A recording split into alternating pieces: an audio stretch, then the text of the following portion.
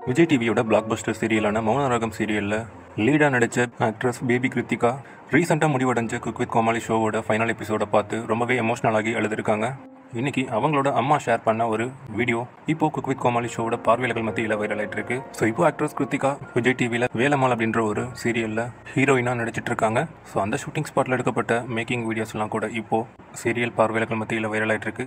So நீங்கள் cook with கோமாளி ஷோவை எவ்வளோ தூரம் மிஸ் பண்ணுறீங்க அப்படின்றத கீழே கமெண்ட் பண்ணுங்க. உங்களோட ஃபேவரட் பிக் பாஸ் நிகழ்ச்சியா இல்லை குக் வித் கோமாளியா அப்படின்றதையும் கீழே கமெண்ட் பண்ணுங்க. ஆடிஷனுக்கு வரும்போது எப்படியாச்சும் இதில் நடிச்சிடணும்னு ஆசையாக இருந்துச்சு. கடைசியில் வேலம்மாளுக்கு தம்பியாகவே வாய்ப்பு கிடச்சிருச்சு. அதுவும் ஷூட்டிங் ஸ்பாட்டு அர்ரன் மன செட்டப்பு வா. ஒவ்வொரு நாளும் ஒவ்வொரு எக்ஸ்பீரியன்ஸு ஒரு நாள் சோகம் ஒரு நாள் சந்தோஷம் ஒரு நாள் சஸ்பென்ஸு ஐயோ நீங்கள் பாருங்கள் அப்போ தெரியும்.